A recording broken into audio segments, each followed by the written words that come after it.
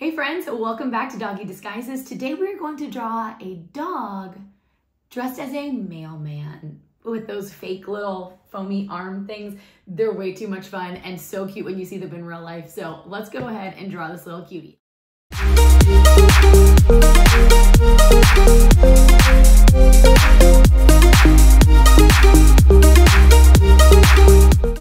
I'm kind of squeeze my a little postal um, worker Maltese in this corner here, um, but you're welcome to fit it, you know, wherever you would like. So the first thing we're going to do is we're gonna make the hat on our postal worker. And then we're gonna draw a slightly curved line and then another curve that goes down. And this is going to be the hat. We can add a little badge. I don't know, I kind of want to add just like a paw. Okay, and now I'm going to draw some kind of zigzag lines going out. This is going to be the ears, and then just a zigzag line going down and connect. And then let's make our eyes pretty close to the top where the hat is. And then our nose. And then we're gonna make, almost looks like mustache, but we're gonna make two lines that go down, but I like to do them in a kind of a, a wavy way just to make it look a little bit more realistic to the actual texture of a Maltese. And let's do a nice wide tongue. And then just a little more of a curved line underneath curved zigzag.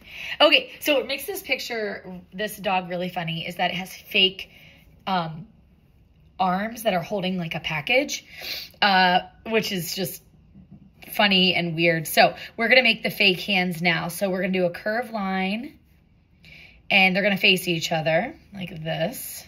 And these are going to be the hands, quote unquote. The fake hands. And then let's go ahead and make it look like there is a box in those in those hands. My daughter kept saying, "But wait, how is how is that doggy standing on his back legs?" And I was trying to explain that actually these are not there. But um, okay, so now we're gonna go ahead and do the front. And so we're gonna draw two curved lines. This is gonna be like the the shirt. Now we really can't see the arms coming out because we're looking at it straight on. This is called foreshortening. If you want to do some curve lines that go back, you can. Um, it's really not necessary. And then this is where the re dog's real legs are. So we're going to draw two legs or pairs of pants. and then right underneath, and I'm running out of uh, room because of my doggy underneath from yesterday, um, but that's where the dog's real feet are. So these are the real feet, and then this is like the pretend feet. If you want it to look a little bit more like a package, um, you could put, we could put some like tape or something on it. And then the real dogs um, would be standing back.